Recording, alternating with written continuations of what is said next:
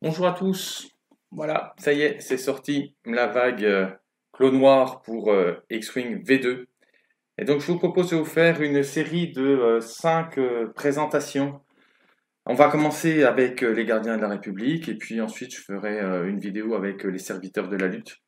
Je vous présenterai également l'infiltrateur site et puis les deux petits packs individuels qui sont sortis dans cette, dans cette version, à savoir le Vulture et le Jedi Infiltrateur. Euh, je pense que c'est vraiment le lancement de la V2 avec ces boîtes. Hein. vous allez le découvrir avec moi. Les cartes sont subtiles. Il y a beaucoup d'intérêt à jouer la force et à jouer les charges. Enfin là, voilà. vraiment, le jeu va prendre une nouvelle dimension. En attendant, si cette vidéo vous a plu, n'hésitez pas à me lâcher un petit pouce, à la partager, à la commenter, à vous abonner si ce n'est pas déjà fait. Et puis n'oubliez pas que si vous voulez vous faire plaisir, vous pouvez me soutenir en utilisant le lien d'achat qui est en description sous la vidéo. Allez, c'est parti. Ciao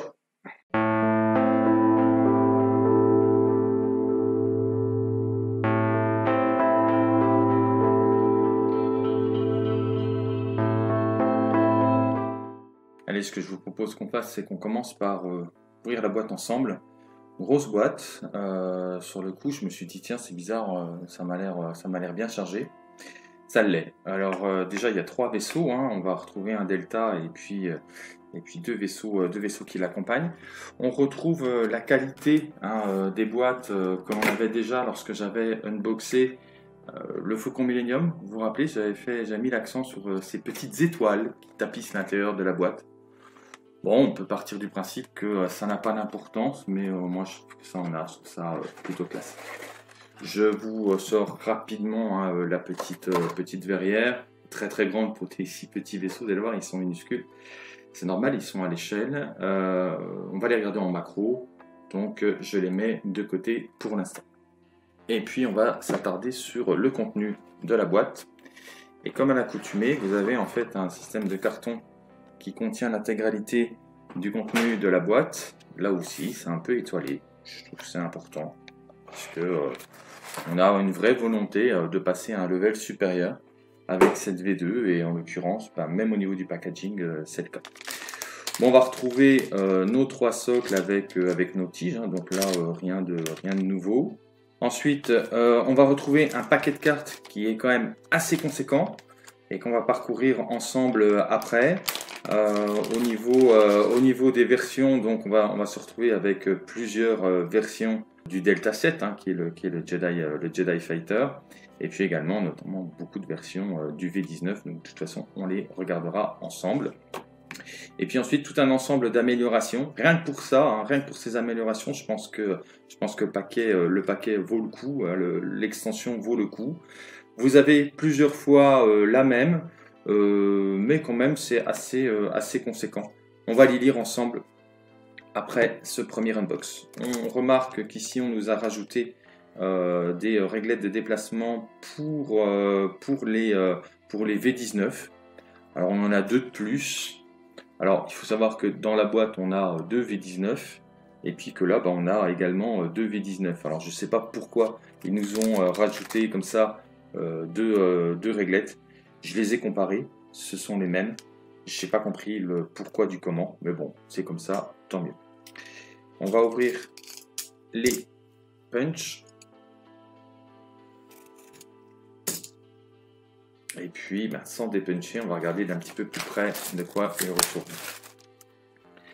Alors, première chose qui marque, c'est euh, le nouveau logo, hein, qui est en fait le logo euh, de, euh, la Rébellion. Moi, je trouve, de l'Empire euh, de l'Empire euh, galactique, enfin de la République galactique, merci, je vais y arriver, je le trouve super chouette. Franchement, euh, les choix de couleurs sont vraiment, vraiment au top.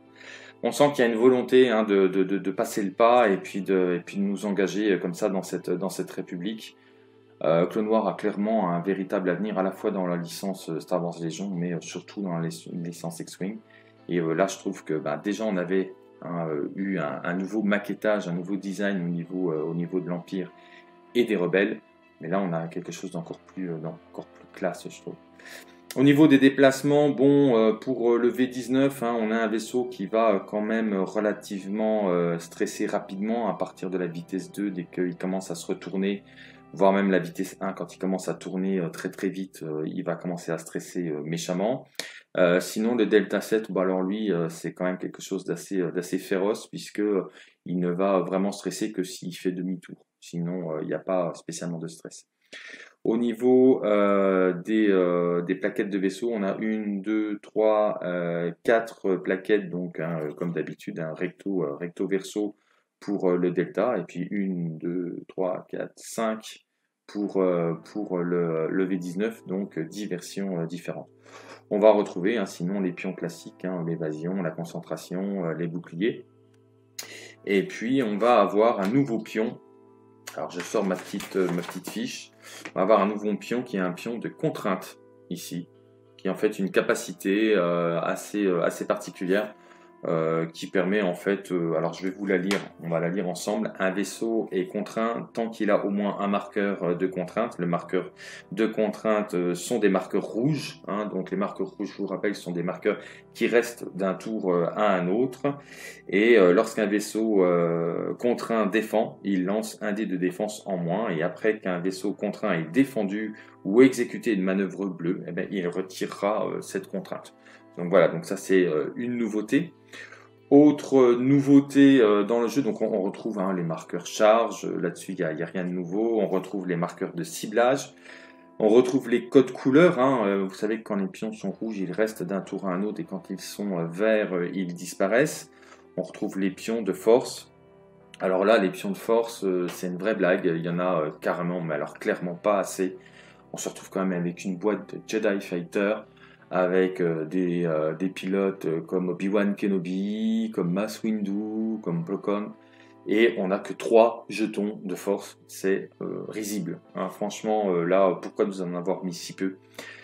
Il y a des gens qui se posent la question de savoir si ça vaut le coup de s'acheter la boîte de start. Ben, rien que pour ça, ça vaut le coup. Après, ces pions-là, vous pouvez les acheter indifféremment, soit en proxy, soit les faire vous-même. Mais là, mauvaise note de la part de, FFG, c'est d'en avoir sorti si peu sur cette plaquette qui est spécialement euh, dédiée aux Jedi. On va retrouver ici euh, deux nouvelles plaquettes également, c'est les gaz et les, caisses de détritus. Donc en fait, cette caisse de détritus, c'est une action que vous pouvez faire qui est de larguer en fait des, des caisses derrière vous. L'avantage de cette action-là, c'est de vous libérer du ciblage et puis, en l'occurrence, bah, ça va foutre des débris dans la tronche du gars, du gars qui est juste derrière. Et puis, au niveau, euh, des gaz, là aussi, euh, c'est une petite nouveauté. Euh, le nuage de gaz sont de nouveaux obstacles. Les joueurs peuvent les sélectionner à la place des astéroïdes ou des nuages de débris, donc ça, il n'y a pas de problème. Lorsqu'un vaisseau se déplace à travers ou chevauche un nuage de gaz, il saute son étape, effectuer une action. Et euh, lorsqu'un nuage de gaz gêne une attaque, le défenseur lance un dé de défense supplémentaire et euh, peut changer jusqu'à une valeur vierge en valeur d'évasion. Donc euh, voilà, c'est un petit, quand même un petit peu plus complet hein, que le champ d'astéroïdes. Voilà, est-ce que c'est juste comme ça folklorique ce gaz On verra à l'usage, mais c'est sympa d'ajouter comme ça de la diversité. On va regarder euh, d'un petit peu plus près euh, les figurines, les comparer à ce qui existe euh, déjà. Et puis ensuite, on regardera, on parcourra ensemble les cartes. C'est parti. Bon, alors ce vaisseau Delta, qu'est-ce qu'on peut en dire? Déjà, je me suis forcément obligé à faire la comparaison avec le X-Wing. Donc on se rend compte qu'il est bien plus petit, hein, il est déjà beaucoup moins large, qu'il n'a pas d'aile. Et puis surtout, ben, ben, niveau longueur, il est largement en dessous je pense que c'était intéressant de faire la comparaison euh, entre les deux. Sinon, quand on le regarde plus en détail, ben, on se rend bien compte qu'il y a une augmentation significative des détails. Au niveau de la peinture, c'est quand même bien, bien, bien appliqué. Et puis, euh, bon, le petit R2 là, il nécessite peut-être 2-3 retouches, mais il est vraiment minuscule. Hein. c'est de la tête d'épingle. Puis vous voyez, on a un super logo euh, de, la République qui est bien peint, qui est bien net. Euh, franchement, c'est super impressionnant euh, de voir euh, la qualité qu'ils ont pu acquérir sur des pièces aussi petites. Et les couleurs sont très tranchées et les détails sont vraiment marqués. Sur le V19, ben, on a quand même une figurine qui est beaucoup plus grosse, mais on retrouve ce même logo de la République. moi, je trouve ça vraiment, vraiment sympa. Et puis, ben, on a un vaisseau qui est super chouette avec une fixation de type B-Wing, et puis des tout petits réacteurs avec des touches bleues. Enfin voilà, c'est vraiment classe. B-Wing parce qu'en dessous il y a l'aileron et on ne pouvait pas fixer par le dessous le vaisseau. Donc c'est vraiment vraiment top.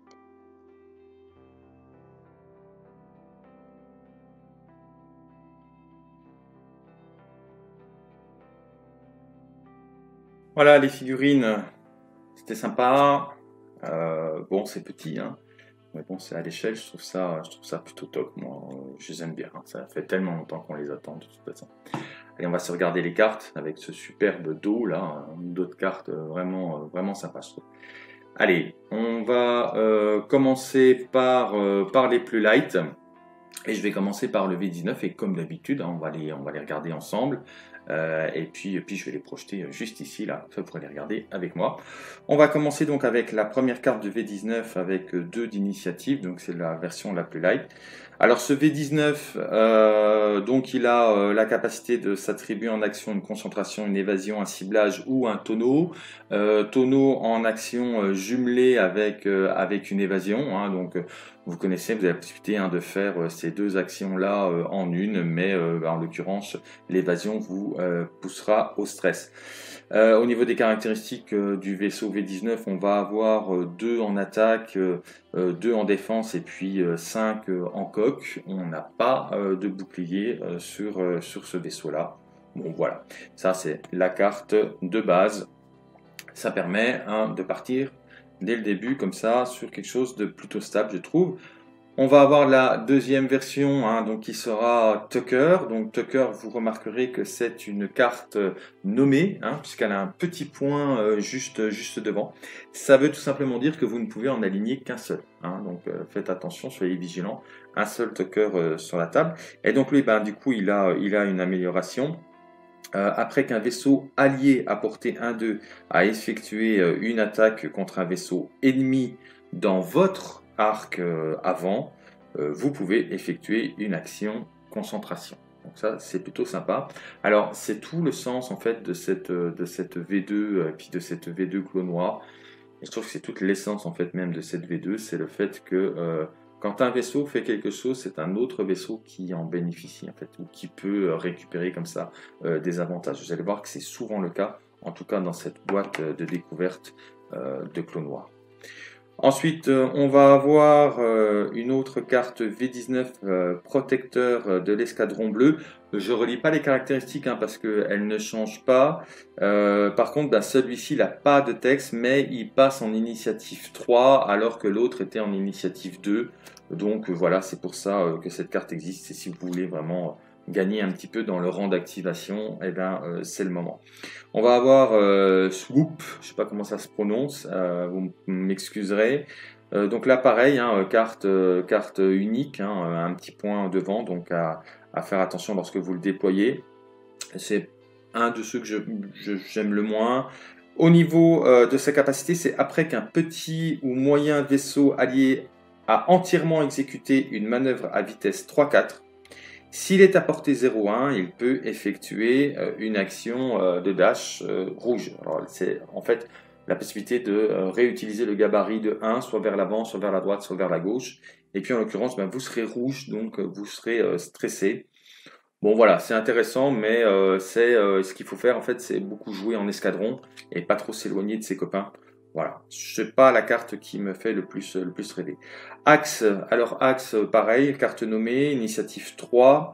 Euh, ce qu'on va avoir, c'est après avoir défendu ou effectué une attaque, c'est l'un ou l'autre, vous pouvez choisir un vaisseau allié à portée 1-2, situé soit à votre droite, soit à votre gauche, et dans ce cas, vous transférez un marqueur vert à ce vaisseau. C'est très intéressant parce que si vous avez attaqué et que vous n'avez pas utilisé par exemple votre concentration parce que vous avez fait un bon jet, eh ben, euh, vous allez pouvoir le donner, le filer euh, au vaisseau d'à côté qui lui euh, va peut-être en avoir besoin pour, pour son attaque future. Donc ça, je trouve ça intéressant parce que des fois, on fait un très bon jet, puis on n'a pas besoin de le modifier. Et puis, ben, si vous avez effectué une défense, et puis une très bonne défense, puis que vous n'avez pas eu besoin d'utiliser vos pions d'évasion, votre jeton d'évasion, ben vous pouvez là aussi euh, le distribuer à votre droite ou à votre gauche. Donc ça c'est intéressant parce que souvent on s'attribue comme ça euh, des pions puis il s'avère qu'au final on n'en a pas besoin puisqu'on a eu du bol au dé. Et puis on se dit, bah, c'est dommage, c'est gâché, parce que n'oubliez pas que les pions verts disparaissent à la fin du tour. Donc autant le donner au voisin d'à côté pour qu'il puisse lui aussi en bénéficier lorsqu'il s'activera.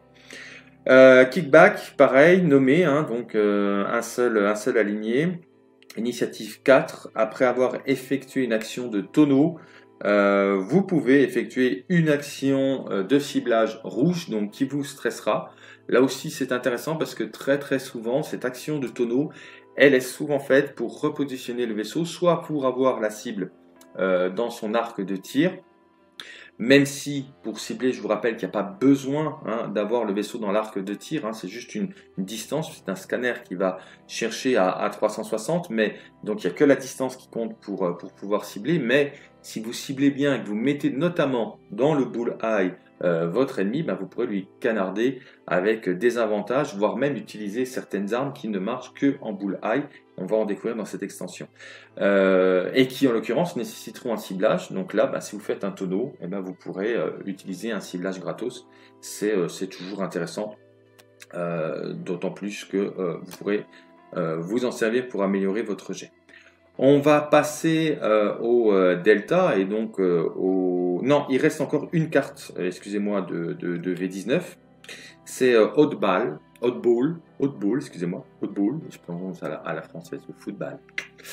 Euh, donc, initiative 5, donc là ça commence quand même à, causer euh, sérieusement. Après avoir entièrement exécuté une manœuvre rouge ou effectué une action rouge, donc c'est soit la manœuvre, soit euh, l'action. Si euh, il a un vaisseau ennemi dans son bullseye, en l'occurrence, hein, donc je vous rappelle que le bullseye, c'est ces deux petits traits qui sont sur votre socle, qui étaient notamment connu euh, de la V1 que pour quelques vaisseaux, qu'un seul de mémoire, mais qui là du coup est présent sur tous les vaisseaux. Donc si vous l'avez dans le bullseye, vous pouvez euh, verrouiller euh, ce vaisseau. Donc là, à la différence de la carte d'avant, il ne s'agit pas d'avoir un verrouillage gratos pour aller verrouiller ce qu'on veut à 360 degrés, mais là, bien de verrouiller ce qu'il y a dans le bullseye après avoir fait soit une manœuvre, soit, soit une action rouge. C'est intéressant, c'est un petit peu plus euh, subtil euh, quand même à placer. Allez, on va euh, passer au, Delta, les Delta 7. On va commencer par la version toute simple, hein, la version Chevalier Jedi. Alors déjà, la première chose qui marque, hein, c'est qu'on a l'arrivée hein, des, pions, des pions de force de façon assez conséquente, et ce sur le vaisseau, même des vaisseaux de base. Euh, puisque on sait que euh, ben, le, vaisseau de Jedi euh, Fighter, ben, lui, il est fait pour, pour les Jedi et donc il est optimisé sur la force. voilà. Alors il a concentration, il a évasion violette, donc du coup ben, là il faudra dépenser, hein, soit dépenser, soit on dépense, soit on récupère. Non, je pense qu'on dépense. on va peut-être dépenser de la force pour pouvoir le faire. Je sais pas, laissez-moi l'information en, commentaire. Moi, je ne je, connais pas la subtilité. Pourquoi violette? Est-ce que je récupère de la force en ayant fait une évasion?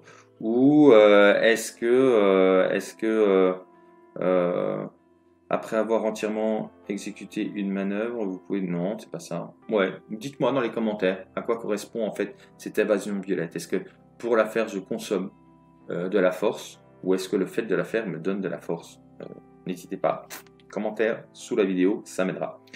Ciblage, tonneau et euh, un petit dash, un petit, une avancée supplémentaire en action. Vous remarquerez qu'aucune de ces actions euh, ne stresse. En attaque 2, en défense 3, donc assez difficile à toucher. en coque 3, un bouclier et puis une charge de force qui est rechargeable puisque vous avez la petite flèche vers le haut qui est juste à côté. Donc je vous rappelle qu'à chaque fin de tour, euh, dans la partie de consolidation, vous allez euh, recharger un pion euh, de force sur ce vaisseau. C'est intéressant. Il a la commande réactive, donc après avoir entièrement exécuté une manœuvre, vous pouvez dépenser un pion de force pour exécuter, effectuer une action soit de boost, hein, un petit mouvement en plus, soit un tonneau tous les deltas longs, donc je ne la relirai pas sur les cartes qui suivent. On va passer euh, à euh, Difficile à prononcer tout ça. Donc là, on a euh, sensiblement euh, la même carte, si ce n'est qu'au niveau de la force, on va avoir deux jetons de force parce que bah, a un pilote à l'intérieur qui est nommé donc un Jedi et donc il aura euh, plus, plus d'affinité avec la force. Donc là, on a deux charges de force qui là aussi se rechargent, mais n'oubliez pas, on n'en rechargez qu'une seule partout. Ne rechargez pas les deux, mais vous pouvez utiliser les deux pendant votre activation. Ça vous permet notamment ben, de modifier vos jets, euh, ça permet plein de choses. Ça permet d'utiliser aussi les actions qui sont sur la carte et vous allez le voir dès maintenant. Après qu'un vaisseau allié à portée 0, 2 a révélé son cadran, vous pouvez dépenser donc euh, un pion euh, de force, hein, une charge de force. Dans ce cas, euh, régler son cadran sur une autre manœuvre de même vitesse et de même difficulté. C'est très très intéressant de pouvoir faire ça. dans le jeu, hein, on, a, on se rend compte souvent que on a mal anticipé le déplacement en face. Parfois, quand on règle comme ça, euh, son mouvement, on oublie euh, l'ordre d'activation. Et parfois, l'adversaire s'active avant vous. Et puis, ben, on se dit, ben merde, j'aurais peut-être pas dû faire ça. Je vais rentrer euh, soit dans l'autre, soit me rentrer dedans ou rentrer dans un de mes potes. Enfin, en l'occurrence, rentrer dans un de mes potes. Et ça, c'est pas cool.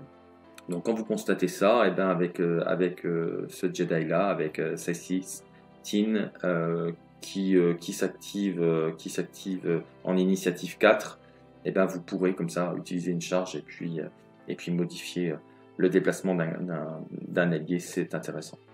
Allez, on passe au dur, Mass Windu. Attention, pas n'importe qui. Mass Windu, on va passer à 3 en force. Hein, 3 là de la force. Bon, après, c'est un, un, maître Jedi, donc c'est quand même assez normal. Bon, il a commande réactive, hein, avec tous les, tous les deltas longs. Et après avoir entièrement exécuté une manœuvre rouge, vous récupérez un jeton euh, de force. Donc en gros, on vous pousse hein, quand même à vous la jouer un petit peu, un petit peu cascadeur. Les manœuvres rouges, euh, en l'occurrence, elles sont assez difficiles à faire avec, euh, avec les Delta Jedi parce que c'est quasiment que des retournements hein, ou des virages de tonneau. Donc, euh, ça veut vraiment dire que vous virevoltez pour bénéficier de ça. Mais bon, voilà, vous pouvez le faire si vous vous rendez compte que vous n'avez pas assez de charge euh, de force pour pouvoir faire certaines choses. Ben, vous pouvez décider de faire euh, une de ces actions. Pour récupérer de la force, on passe à Plocon qui lui a 5 en initiative du coup. Il va rebaisser à 2 en force. C'est pas un grand grand maître Jedi. Hein. pourtant, il fait partie normalement des grands. mais c'est un meilleur pilote.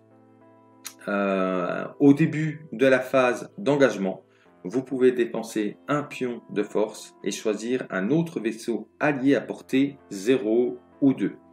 Dans ce cas, vous pouvez transférer un marqueur vert à ce vaisseau ou transférer un marqueur orange de ce vaisseau au vôtre. Voilà, donc ça c'est sympa. Vous dépensez euh, un pion euh, de force et puis ben, soit vous apportez Hein, euh, du vert à, votre, à votre allié, soit vous lui retirez un pion orange. Donc ça, c'est, je pense que voilà, c'est un bon équilibre. C'est un très très très bon allié à avoir dans votre côté. Et puis, bah, on va voir le master du master, Obi-Wan Kenobi. Alors Obi-Wan Kenobi 5, hein, quand même, en initiative. je rappelle que 5 pour l'instant c'est ce qu'il y a de plus haut hein, dans, le jeu en V2 on avait, des choses beaucoup plus grandes, on a des chiffres beaucoup plus hauts avec, euh, avec la V1, mais là en l'occurrence 5 c'est ce qu'il y a de plus haut. On va repasser à 3 euh, en force, donc sensiblement la même chose que Mass Windu, mais j'aime bien sa carte. Après qu'un vaisseau allié à portée 0,2 a dépensé un marqueur de concentration, vous pouvez dépenser un marqueur de force. Dans ce cas, ce vaisseau allié gagne un marqueur euh, de concentration. Voilà. Ça c'est intéressant parce que le marqueur de concentration, vous pouvez vous en servir à la fois en attaque et à la fois en défense. Donc si vous avez Obi-Wan Kenobi juste à côté de vous, vous pouvez utiliser euh, votre marqueur pour l'attaque.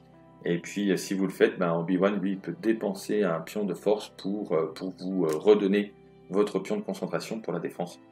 je trouve ça intéressant. Allez, on attaque le gros du gros. C'est tout ce paquet. Intéressant hein, quand même. Hein, d'amélioration. Ne vous inquiétez pas, ça va, euh, ça va aller vite. Allez, on va commencer par la console synchronisée que euh, j'aime beaucoup. Euh, après avoir effectué une attaque, vous pouvez choisir un vaisseau allié à portée 1 ou un vaisseau allié qui possède en fait l'amélioration, excusez-moi, console synchronisée. C'est soit il est juste à côté, soit il a lui aussi cette carte. par contre, il sera apporté 1-3, faut pas qu'il soit plus loin que ça. Et à partir de là, on dépense un verrouillage que vous avez sur le défenseur. Et dans ce cas, le vaisseau allié que vous avez choisi peut verrouiller le défenseur. Alors, quel est l'intérêt? Vous avez ciblé en fait euh, un vaisseau. Euh, vous vous rendez compte qu'au niveau de vos jets, vous n'avez pas eu besoin d'utiliser le ciblage pour lui faire euh, beaucoup de dégâts parce que vous avez fait un très très beau jet à ce moment-là et vous vous dites, ben, juste après moi, il y a mon pote qui va attaquer, mais lui, il ne l'a pas ciblé. Donc ce que je vais faire, c'est que je vais transférer le ciblage chez lui, grâce à cette carte-là. C'est la console de synchronisation. C'est plutôt sympa, et je vous l'ai dit, hein, il y a beaucoup, beaucoup, beaucoup de cartes comme ça euh, dans cette V2 et surtout dans cette, euh, dans cette version de clone, parce que on vous pousse à jouer vraiment en équipe. C'est-à-dire que votre team, elle est vraiment interconnectée, et les apports en fait de vos vaisseaux c'est vraiment de la complétude en fait. Je trouve ça vraiment vraiment bien. Ça pousse à faire des listes d'armées qui soient vraiment vraiment plus réfléchies qu'en VR. Euh, système d'occultation, très très très bonne carte. Alors attention, il y a une charge, donc vous pouvez l'utiliser euh, que si la charge est active. Tant que vous défendez, si votre charge est active, ça tombe bien, je viens de le dire, lancez un dé de défense supplémentaire. C'est un dé de défense supplémentaire. Après avoir subi des dégâts, vous perdez une charge. Qu'est-ce que ça veut dire? Ça veut dire que déjà, euh, quand vous l'avez, ce système d'occultation, ben, il est tout le temps là, puisqu'il a une charge active sur la carte. Que en étant tout le temps là, il vous donne un dé de plus pour vous défendre. Mais que s'il fait défaut, c'est-à-dire que si grâce à, à ce dé de plus, ben, malgré tout, vous n'avez pas réussi à défendre assez pour ne pas vous faire toucher, eh ben là, vous le perdez. C'est-à-dire qu'on part du principe que le système d'occultation a souffert et il disparaît. D'accord? Donc c'est génial parce que tant qu'il réussit, tant que ce dé supplémentaire vous permet de ne pas recevoir de dégâts, eh ben euh, cette carte-là, elle reste. Ça, je trouve ça génial. Ah, celle-là, elle est fourbe. euh, les ailettes euh, statiques de décharge. Je les aime bien, cela. Avant que vous ne gagniez un marqueur ionique ou de brouillage. Donc ça, c'est des marqueurs qui vous subissez si vous vous faites attaquer par certains types d'armes. Si vous n'êtes pas stressé, c'est la seule condition, vous pouvez choisir un autre vaisseau à portée 0,1 et gagner un marqueur de stress. Dans ce cas, le vaisseau choisi gagne ce marqueur ionique ou de brouillage à la place. Alors ça c'est fantastique parce qu'il y a bien marqué un autre vaisseau à portée 0,1 et non pas un vaisseau allié. C'est-à-dire que s'il y a un méchant qui vient de vous tirer dessus à 0,1 et qui a essayé de vous balancer un ionique ou un brouillage, ben, potentiellement vous pouvez lui renvoyer dans la gueule. Je trouve ça absolument génial. Il faut gagner un stress pour le faire, mais franchement, c'est plus le mec qui reçoit son propre tir ionique qui va se retrouver un peu stressé dans la tête. Je l'aime bien celle-là. Euh, la caisse de pièces détachées, Hein, on l'a vu euh, euh, quand on a unboxé hein, le marqueur de, caisse de pièces euh, détachées. Donc il y a un marqueur 1 également, hein, un marqueur de charge 1. donc ça veut dire que vous ne l'utilisez qu'une seule fois. En l'occurrence c'est normal, c'est ce qu'on voit dans l'épisode 2. Obi-Wan Kenobi, il largue, des trucs pour, pouvoir se libérer de l'attaque du slave. Action dépenser donc une charge pour récupérer une charge sur l'une de vos améliorations droïdes équipées. Donc ça, c'est déjà une première action. Vous avez deux actions sur la carte, vous la choisissez. C'est intéressant parce que les droïdes consomment des charges. donc là, vous allez pouvoir en fait dépenser une charge pour en récupérer une sur un droïde. C'est très très intéressant pour avoir des droïdes qui vous améliorent ou qui vous réparent. Pour avoir besoin qu'ils vous réparent une fois de plus, vous sacrifier cette carte pour ça. Ou alors, action, dépenser donc une charge pour larguer une pièce détachée, donc on est sur le gabarit hein, qu'on a vu tout à l'heure, euh, puis euh, rompez tous les verrouillages qui vous sont assignés. Donc déjà, vous allez larguer hein, euh, des pièces normalement sur le chemin de celui qui, qui, vous suit, mais en plus, bah, vous vous libérez du ciblage. Je trouve ça intéressant. Ça peut être fait sans forcément que l'autre aille dans le nuage de ciblage. Hein. Mais c'est intéressant si vous arrivez à comboter les deux. Munitions de sûreté intégrées, très très très très bonne carte aussi. Tant que vous effectuez une attaque avec euh, une torpille ou un missile, après avoir lancé les dés d'attaque, vous pouvez annuler tous les résultats des dés pour récupérer une charge que vous avez dépensée comme coût pour l'attaque. Alors, qu'est-ce qu'on sent dire tout ça? C'est génial. C'est tout simplement, elles sont vraiment, vraiment, vraiment super bien ces cartes. Ça veut tout simplement dire que lorsque vous utilisez une torpille ou un missile, vous allez souvent, voire même systématiquement, devoir utiliser une charge. Ça coûte d'utiliser une charge.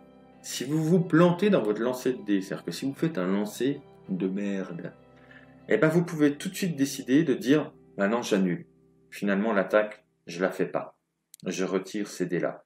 Et vous récupérez la charge que vous avez utilisée pour lancer ce missile et donc vous pourrez le relancer une prochaine fois.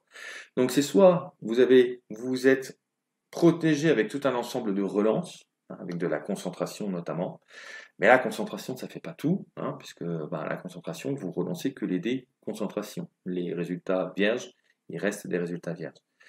Euh, si vous avez ciblé, ben, vous avez des améliorations aussi, mais malgré tout, malgré toutes ces améliorations, il peut arriver que ben, votre résultat il soit euh, miteux. Mais avec cette carte-là, vous pouvez dire, bah non, finalement, bah, je fais pas ce jet-là. Et puis tu fais pas la défense qui va, euh, qui va suivre, mais je récupère ma charge et puis je me retenterai une prochaine fois. Je trouve ça très intéressant. Déflecteur électronique, euh, sympa, euh, pendant la phase de dénouement. Soyez très très très sharp sur votre phase de dénouement, on oublie beaucoup de choses à ce moment-là. Vous pouvez subir un dégât pour retirer un marqueur rouge. Je trouve ça surpayé. Je ne sais pas si je le ferai. Ou vraiment faire ça peut-être en tout début, et puis vouloir vraiment se débarrasser d'un truc qui vous embête. La post-combustion, deux charges, vous pourrez vous en servir deux fois, après avoir entièrement, entièrement exécuté une manœuvre à vitesse 3.5. Pourquoi ils mettent entièrement? Parce que si vous avez percuté quelque chose, un vaisseau notamment, vous avez dû vous arrêter, donc vous n'avez pas fait entièrement votre mouvement. Donc après avoir exécuté entièrement une manœuvre à vitesse 3-5, euh, vous pouvez dépenser une charge pour effectuer une action euh, de déplacement supplémentaire de 1, soit vers l'avant droite ou gauche, euh, même si vous êtes stressé. Donc ça, c'est intéressant parce que c'est vrai que normalement, le stress vous enlève, vous enlève une action et donc ben, vous pouvez rarement utiliser cette capacité de déplacement supplémentaire. Delta 7B, ça c'est intéressant, c'est une carte titre ça vous permet en fait de modifier en fait euh, votre, euh, votre delta, euh, votre vaisseau. Donc, vous prenez la carte de votre vaisseau et vous appliquez les modifications qui sont sous cette carte delta 7B. vous allez avoir plus 1 en attaque, donc vous allez passer de 2 à 3. Vous allez avoir moins 1 en défense, donc vous allez passer de 3 à 2. Et vous allez avoir plus 2 en bouclier, donc vous allez passer de 1 à 3. Ça fait quand même un beau vaisseau, je trouve. Et euh, voilà, c'est une carte titre qui vous permet euh, d'améliorer euh, vos deltas. Si vous associez ça à un Jedi, ça, va, ça va vite coûter cher. Je ne parle pas des coûts des cartes dans cette présentation, j'en parlerai jamais dans la V2. Bah parce qu'il faut que faudrait que j'aille me palucher l'application avant de faire les vidéos, puis je vous cache pas que c'est fastidieux. N'oubliez pas que le coût des cartes hein, n'est plus présent sur la carte, mais est présent dans l'appli que vous pouvez télécharger. Euh, sur votre téléphone. Et pour ceux qui se poseraient euh, la question, c'est également téléchargeable en PDF sur le site de FFG et notamment FFG France, dont le lien est en description sous la vidéo. N'hésitez pas à dérouler. Visée laser calibré, tant que vous effectuez une attaque principale, si le défenseur est dans votre bullseye, ajoutez un résultat, ajoutez un résultat concentration, rajoutez un dé avec la phase concentration dessus. Si vous aviez concentration, vous pouvez le tourner en touche. Ça c'est gagné. Allez, on va passer aux astromech. L'astromech R5, deux charges. Attention. Action, euh, dépenser une charge euh, pour euh, réparer une carte de dégâts face cachée. Donc là, vous la retirez. Ou alors une autre action, réparer une carte de dégâts vaisseau face visible. vous avez des cartes euh, de dégâts quand vous les retournez en cas de critique, il y a marqué vaisseau dans le type de la carte, et eh ben euh, avec euh, R5 vous avez une action où vous cramez une charge et puis vous pourrez comme ça réparer une carte vaisseau face visible. C'est intéressant. Euh, R4 P17, 2 de charge également. Après avoir entièrement exécuté une manœuvre rouge, vous pouvez dépenser une charge pour effectuer une action, même si vous êtes stressé. Sympa. Astromech euh, R4P, 2 en charge toujours d'exécuter, excusez-moi, avant d'exécuter une manœuvre de base. Vous pouvez dépenser une charge, dans ce cas, tant que vous exécutez cette manœuvre, diminuer sa difficulté. C'est intéressant si vous vous rendez compte que vous voudriez faire un putain de virage de malade, mais que il est rouge et que vous êtes déjà stressé, ben, vous pouvez utiliser une charge pour faire quand même la manœuvre, même en étant stressé, parce que vous allez diminuer cette difficulté de 1. Donc de rouge, il va passer à blanc et ce sera possible. Là également, l'astromech R4, diminuer la difficulté de vos manœuvres de base donc c'est euh, toutes celles qui sont à vitesse 1 de ce que je vois, euh, ayant une vitesse 1 à 2, voilà, hein, une vitesse 1 à 2. Donc à la différence de la carte d'avant, la carte d'avant vous permettait de changer n'importe quel euh, mouvement, alors que là c'est des vitesses 1 à 2, sympa aussi. Énorme, on va passer au missile, roquette à proton. Alors celle-là, elle picote un petit peu. attaque sur concentration, d'accord, euh, dépenser une charge, ça tombe bien, elle n'en a qu'une. Par contre, elle est en bull eye, donc elle est quand même assez difficile à placer. Elle est à distance 1-2, mais elle fait 5 d de dégâts. C'est une véritable tuerie. Donc c'est vrai qu'il faut être concentré pour euh, la larguer, mais alors quand elle part, celle-là, à mon avis, elle fait mal. N'oubliez pas, euh, d'associer cette carte avec la possibilité d'annuler votre attaque. Si vous jugez que vos 5 dés ont été gâchés pour rien, d'annuler euh, votre attaque hein, avec, la carte qu'on a vue tout à l'heure, qui vous permet de récupérer la charge et donc de pouvoir retenter votre coup. Ça peut vraiment être intéressant. Missile à tête chercheuse, assez intéressant celui-là. Oui, non, je sais pas. Donc attaque sur ciblage, faut avoir ciblé. Euh, dépenser une charge après que vous avez déclaré le défenseur. Il peut, donc là c'est lui, choisir de subir soit un dégât, d'accord? Dans ce cas, vous sautez les étapes des d'attaque et des de défense et vous considérez que l'attaque a touché. Donc à partir de là, normalement vous devriez lui faire 4 dés, lui lancer 4 dés. Vous êtes à portée 2-3 avec deux charges, intéressant, on peut l'utiliser deux fois. Eh ben lui, euh, il peut décider de dire non mais euh, je tente pas le coup des 4D euh, parce que là je suis vraiment limite, je vais crever, je prends, la touche ou je suis en début ou voire vers la fin. Il me reste encore deux points de vie, je préfère prendre juste un point de vie plutôt que de risquer de me prendre de me prendre 4. Alors est-ce que c'est bien? Bah, Vous, vous avez l'assurance d'avoir une touche. par contre, ben, le destin des 4D, il n'est pas entre vos mains. Donc il faut voir combien ça coûte, mais je sais pas. Je suis, je sais pas. À voir, à tester en jeu. Le missile à conclusion, tout ça c'est des missiles qui existaient déjà dans la V1. 3D d'attaque, 2-3 euh, en distance, 3 charges, on peut l'utiliser 3 fois. Attaque sur ciblage, dépenser une charge. Après que cette attaque a touché, chaque vaisseau à portée 0,1 du défenseur expose une de ses cartes de dégâts. Donc ça c'est intéressant parce qu'il n'y a pas de jet à faire. Et euh, ce qui se passe, c'est que euh, si vous avez des potes autour de vous, que vous êtes euh, ciblés comme ça, hein, après que l'attaque vous ait touché, bah eux, ils vont recevoir des éclats, ils vont recevoir des, missiles également. Et puis si vous aviez déjà des dégâts, et eh ben là, vous allez devoir révéler en fait les cartes qui ne le sont pas. Ça peut être la fête, hein. ça peut être deux dégâts supplémentaires, je vous rappelle. Missiles groupés, sympa aussi. Euh, force 3 à 1, 2, 4 charges, donc ça fait beaucoup, je trouve. Attaque ciblée, dépenser une charge, donc on peut utiliser la carte 4 fois, ça fait beaucoup. Après cette attaque, vous pouvez effectuer cette attaque en tant qu'attaque bonus contre une cible différente à portée 0,1 du défenseur en ignorant le prérequis de ciblage. C'est-à-dire que vous allez tirer après avoir ciblé sur une cible, et si il a un pote à 0,1, bah, vous pouvez lui refaire une attaque sans avoir le prérequis euh, de, euh, du ciblage. Je trouve ça vraiment, vraiment badass, intéressant à voir en jeu. Tir prophétique, elle est vraiment bien celle-là.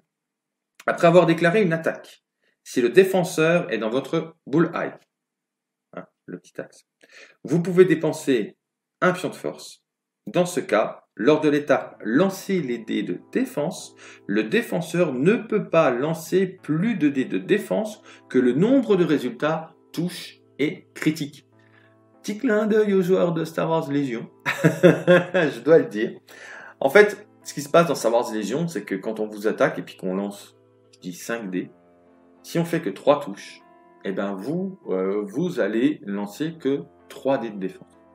Si on fait qu'une seule touche, vous allez lancer qu'un dé de défense.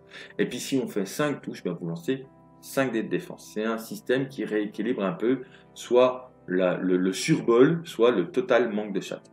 Et ben là, en fait, cette carte, elle fait un peu un clin à ça, puisque euh, euh, si vous n'avez pas trop de bol au, lancer, eh ben normalement en face dans X-Wing, vous pouvez continuer à balancer tous vos dés de défense puis minimiser vos risques. Bah là, vous allez devoir lancer autant de dés de défense qu'il y a de touches. S'il n'y a pas beaucoup de touches, mais il n'y aura pas beaucoup de défense, ça rééquilibre. C'est le tir prophétique. Je trouve ça sympa. As de la manœuvre, tant que vous défendez, si vous n'êtes pas dans le bull eye de l'attaquant, vous pouvez dépenser une charge de force pour changer, un, euh, pour changer deux de vos euh, résultats euh, concentration en résultats évasion. Voilà, on dépense juste une charge, on ne sait pas attribuer de concentration. admettons, hein, je n'ai pas attribué de concentration, je me rends compte que j'ai plein de résultats concentration dans ma défense. en plus, bah, je ne suis pas dans le boulot de mon adversaire, donc je vais utiliser comme ça un pion de force et je vais pouvoir transformer deux concentrations en évasion, c'est pratique. Allez, euh, euh, médiation euh, de bataille. Vous ne pouvez pas coordonner des vaisseaux limités, attention, hein, c'est très important. Tant que vous effectuez une action de coordination violette, vous pouvez coordonner un vaisseau allié non limité supplémentaire de même type. Les deux vaisseaux doivent effectuer la même action. On enchaîne avec le tir que j'aime beaucoup, tant que vous effectuez une attaque qui est gênée par un obstacle. Qui est gênée par un obstacle. Lancez un dé d'attaque supplémentaire. Normalement, hein, il y a une défense de plus. Et bien là, si vous vous cachez dans les astéroïdes, vous lancez un dé d'attaque supplémentaire. Tactique de nuée. Au début de la phase d'engagement, vous pouvez choisir un vaisseau allié à portée 1 dans ce cas, considérez que son initiative est égale à la vôtre jusqu'à la fin du round. Très intéressant parce que vous pouvez mettre des potes qui sont pas très élevés en initiative à côté de vous, à côté d'un vaisseau chef, un vaisseau boss, genre Obi-Wan Kenobi ou des choses comme ça. Et puis, ben, euh, les vaisseaux euh, qui, qui, sont avec lui, en l'occurrence un vaisseau allié qui sera avec lui, va obtenir en fait la même initiative. C'est intéressant. Euh, la salve de saturation, tant que vous effectuez une attaque avec une torpille ou un missile, vous pouvez dépenser une charge de cette amélioration, de la même amélioration, attention. Hein.